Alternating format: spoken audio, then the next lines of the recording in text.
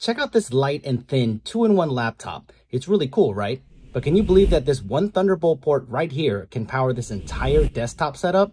Mind-blowing, right? You can just use this one cable to connect directly to the monitor and power the laptop at the same time, but the pro move is to connect it to a Thunderbolt dock. This powers the laptop and expands one port to every port that you could possibly need, and it also drives high resolution monitors like this ultra wide up to 8K resolution without breaking a sweat.